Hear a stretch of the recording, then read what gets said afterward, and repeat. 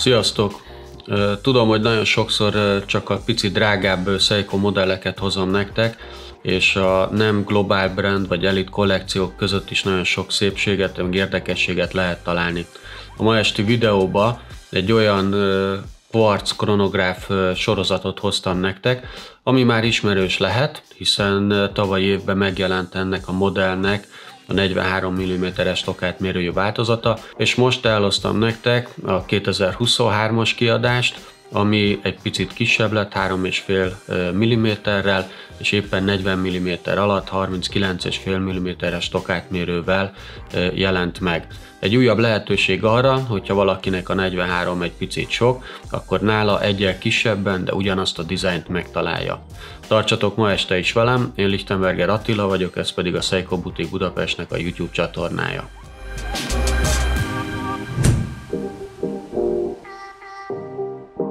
Nem gyakran fordul elő, viszont nem is az első eset, hogy egy bizonyos modellcsalád megjelenik két különböző méretben, és ezáltal alternatívát kívánál azoknak, akiknek az adott méret vagy túl kicsi, vagy esetleg nagynak érzik a csuklójukon. A korábbi évben éppen a Speedtimer sorozat volt ilyen, amelyben viszont fordítva először a kisebb tokátmérős modell jelent meg, és azt követően ugyanannak a Speedtimer szolár kronográfos szerkezetnek a nagyobb tokátmérős változata. Ami nagyon érdekes a ma bemutatásra kerülő sorozattal együtt, az az, hogy mind a kettő változatnál ugyanannyival csökkent, illetve nőtt a tokátmérőnek a mérete, Érdekes ez a 3,5 mm-es varázs. Akkor fordítva volt, ugye, először a kicsi jelent meg, és utána a nagyobb, most pedig itt éppen fordítva van. Tavaly évben megjelent az SSB 410-es sorozatnak az alacsonyabb számai, és ebből például, amit elhoztam ide a mai videóban, ez a 417-es, a textil szíjas, fekete, tokos, fekete számlapos kiadás, és ez a sorozat érdekes módon rögtön a következő számokkal folytatódik, annak ellenére, hogy ez már egy 23-as kiadás, tehát amit ma elhoztam, az a 419, 421 és a 423-as számra fog hallgatni. Az idei modellek között a 419-es egy nemes acél tokkal és tömörfém csat szemekkel készülő kiadás. A 421-esnél van egy ugrás, hiszen ez lesz a textilszíjas és egy fekete bevonatot kapott tokos modell, és ezt követően a 423-as, az újra egy acéltokos változat, azonban egy szürke textilszíjjal.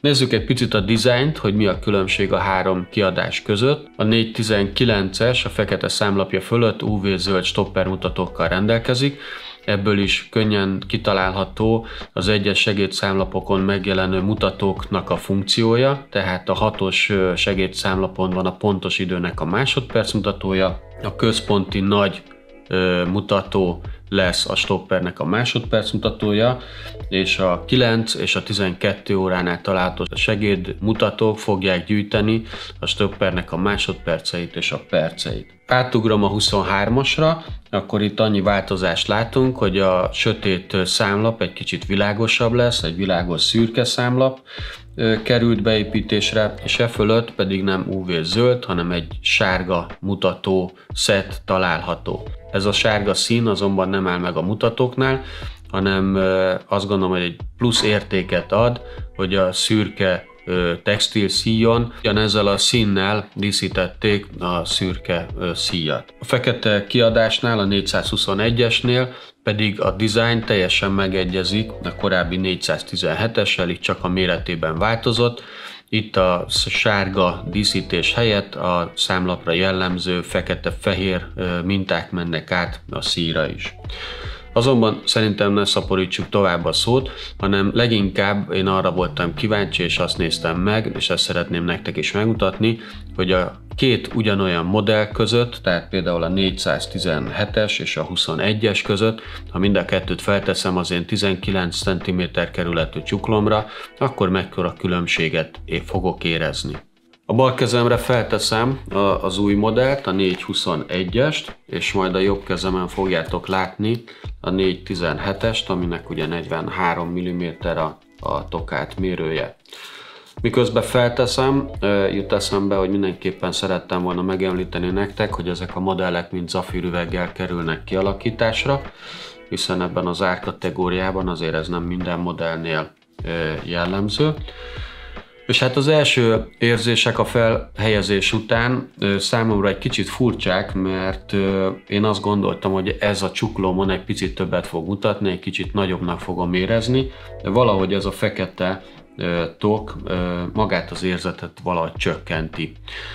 És hogyha már ez így felkerült, akkor elmondom nektek, hiszen a videó előtt a felkészülésnél azért fölpróbáltam a többi modellt is, hogy a fekete mellett, amikor ugyanennek a textil szíjas kiadásnak a szürke számlaposát próbálgattam, akkor ez a kisebb érzés a szürke számlaposnál viszont nem volt meg, ott határozottan ez a 40 mm körüli érzetem, ez megvolt.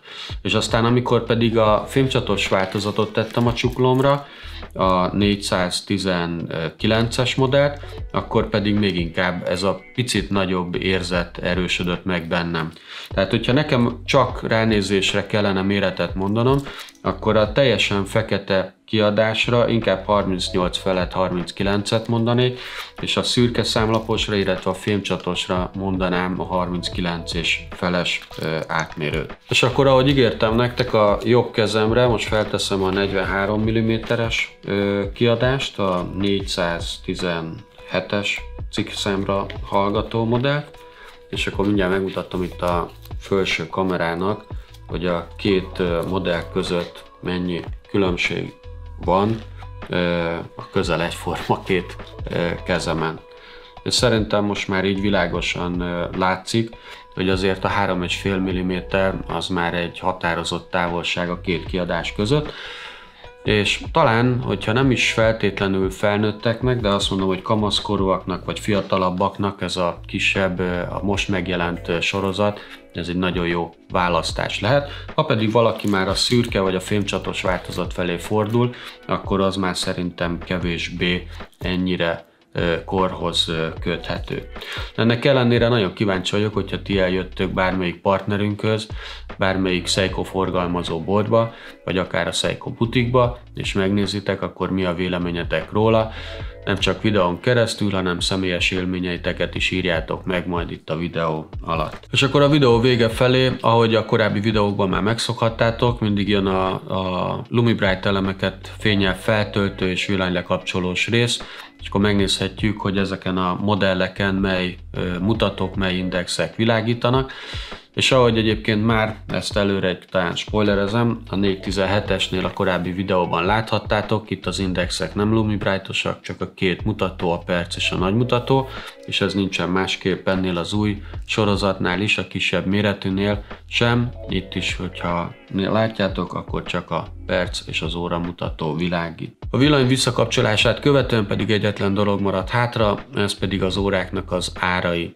Kezdem a cikkszám szerinti sorrendben. Az SSB 419-esnek az ára 135 ezer forint, mint ahogyan a szürke számlapos változatnak is ugyanennyibe kerül az ára. A fekete bevonatos acéltokos kiadásnak, a 421-esnek, ennek 143 ezer forint a javasolt fogyasztói ára, és ezt azért akartam itt a végére hagyni és kiemelni, mert a nagyobb átmérős változatnak az ára 146 ezer forint, tehát mindössze 3 ezer forint különbség van a 3,5 mm tokátmérő különbségben. Így láthatjátok, hogy nem az ár alapján érdemes döntést hozni, hogy a kisebb vagy a nagyobb tetszik nektek, hiszen a különbség nagyon minimális. Bízom benne, hogy kellően sok információval tudtam ellátni benneteket, és most már, hogyha ezek az órák fölkeltették a figyelmeteket, akkor tudtok kérdezni is, illetve kaptatok annyi inspirációt, hogy eljöhetek személyesen is az üzletekbe és felpróbáljátok őket. Ha tetszett a videóm, akkor egy lájkkal legyetek szívesek jelezni. Iratkozzatok fel a Seiko Butik Budapest YouTube csatornájára, hiszen itt kaphatjátok meg leggyorsabban a legújabb modelleknek a bemutatóit, híreit. Köszi szépen, hogy ma is velem voltatok, találkozunk legközelebb péntek este 7 órakor, akkor már Andrással közösen várlak titeket. Sziasztok!